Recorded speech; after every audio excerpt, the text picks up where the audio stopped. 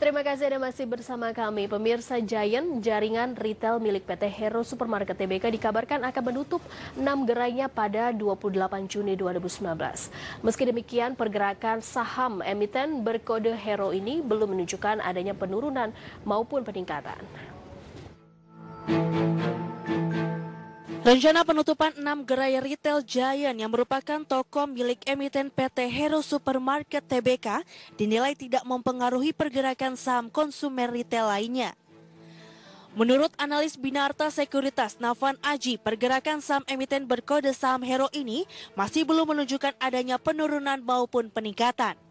Meski demikian, para pelaku pasar saham dinilai akan memanfaatkan rencana tersebut untuk trading jangka pendek dengan terlebih dahulu melakukan wait and see atau menunggu harga saham Hero sudah berada di batas bawah atau di level support.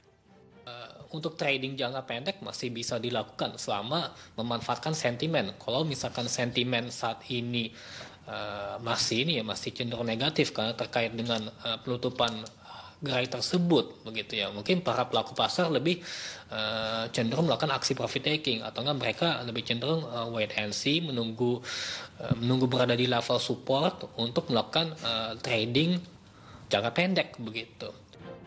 Seperti diketahui, pada awal tahun 2019 PT Hero Supermarket TBK telah menutup sebanyak 26 gerai.